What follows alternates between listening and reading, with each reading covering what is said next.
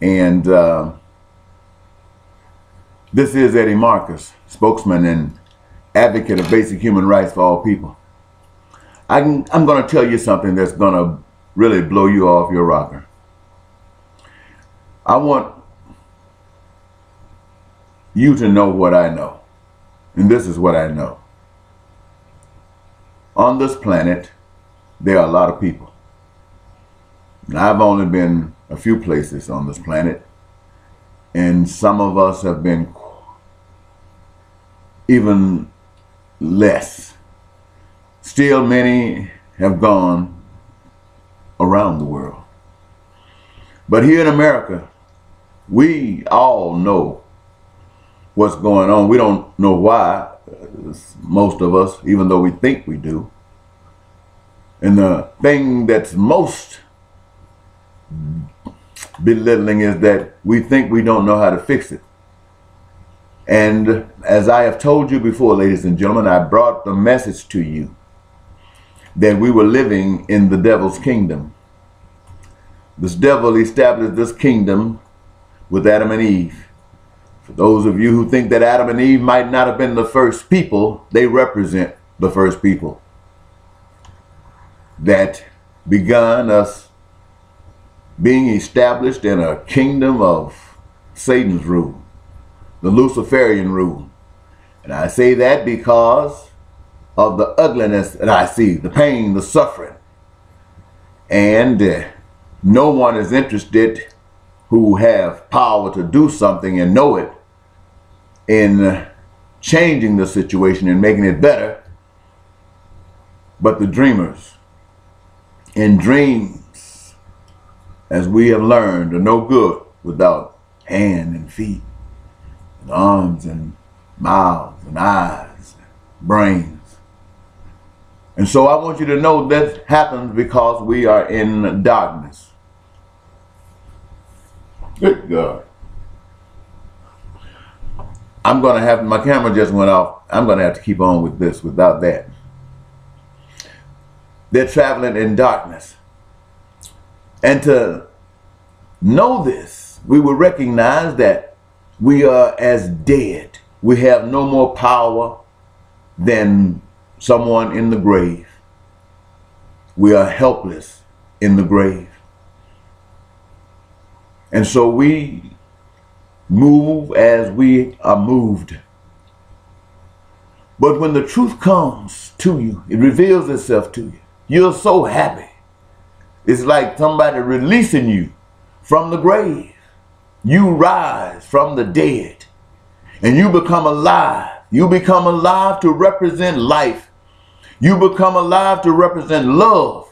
You become alive to represent truth. You become alive guided by that ever yearning selfishness that says, do unto others as you would have others do unto you. And you know you want the best done to you. That's why you say, God, do it. And in order to get that, you got to see that in every other individual. So that means the decisions you make, the way you respond in life must recognize an interest, a premier interest in all of the other people in the world because they, by the power of God, are you. And so you just choose to do the right thing. Now, what will happen when you do the right thing? Well, the story tells us that Satan will do his thing. Lucifer will do his thing. Those who are proud, who refuse to respect God as being the authority, but rather themselves, they will come up as Cain did to Abel. His brother slept with him, played with him, fought with him. His brother kills him because he must have his way. And what does God do? God allows Abel to die in the flesh, to be born in the spirit. Now, what that represents, ladies and gentlemen, I can't begin to tell you. All I know that we must worship God in spirit and in truth. That means to me to be guided by that light of light. that light of truth. Be guided by that. And then, and therein, we worship God. And everybody knows it. Everybody knows it because they never been loved like that before. And like Abel, it's wherever God wants him to be. As you and I will be, wherever God wants us to be. But wherever we will be, it will be where life is. It will be the light of life. And why? Because you are there. For no other reason than you are there. The whole world might want to bow down for one reason or another and end up worshiping Satan? Is it because Satan gives them all of the money they want, can imagine? Is it because Satan can put them on a stage and let them shine until they're old, and when they're old, they can have facials and so forth, and appear to be young again, but old in spirit? Is it that Satan can transform their inheritance uh, as an inheritance down the generations, maintaining a force at the expense of so many? No, no, not you. You're going to stand up for what's right. And let me tell you a secret. You feel real good about it. I mean, the Spirit of God is in you when you do stuff like that.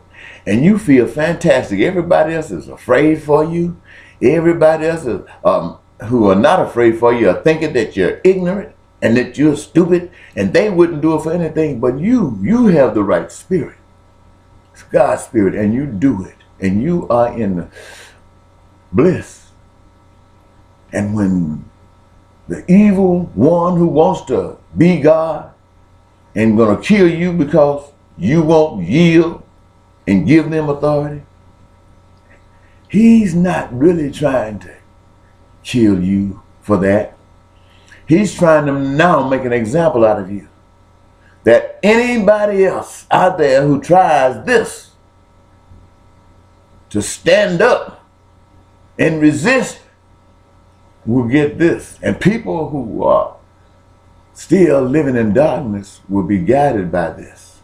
And all the hell that comes will be on them.